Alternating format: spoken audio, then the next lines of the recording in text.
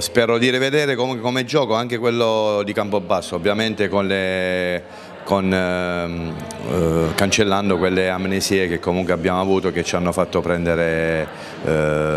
tre gol su, su, calcio piazzato, quindi quelle cose dobbiamo eliminare, eh, però sì, eh, io voglio rivedere il Francavilla di mercoledì, un Francavilla molto compatto, concreto, eh, che è andato in vantaggio e poi si è difeso bene, quindi un Francavilla intelligente.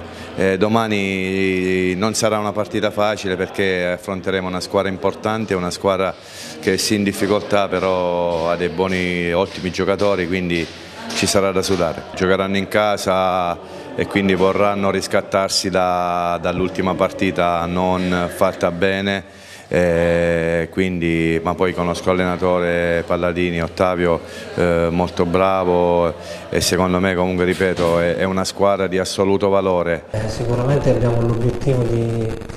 di vincere la partita, eh, ma sappiamo che la partita non sarà facile perché poi Francavilla è un'ottima squadra. Quindi dobbiamo stare molto attenti, dobbiamo avere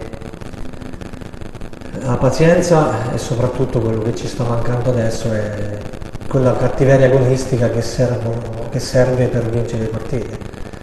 Eh, al primo errore veniamo,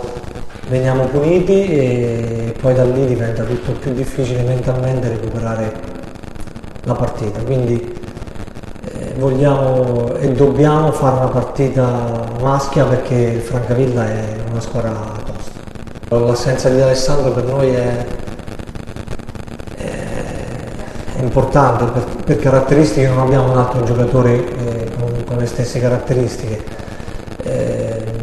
dobbiamo cercare di recuperare anche Palestini, un altro giocatore che ci può dare qualcosa